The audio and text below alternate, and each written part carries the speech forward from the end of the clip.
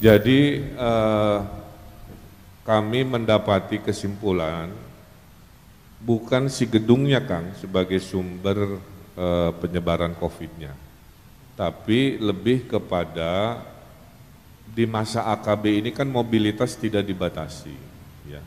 sehingga mau pegawai gedung sate, mau pegawai di DPRD, pulang kantor kan punya pola kegiatan yang kita tidak bisa kontrol lah kira-kira begitu.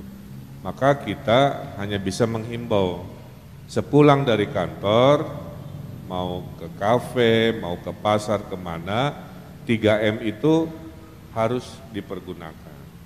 Jadi eh, lebih bijak menyebut klaster perkantoran karena tidak spesifik sumbernya dari datang dari satu peristiwa.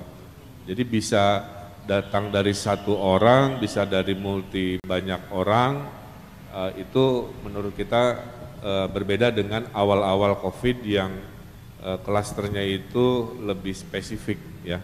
Jadi sekarang itu masih umum, tapi per hari ini dugaan kita datang dari mobilitas sepulang kantor kira-kira begitu.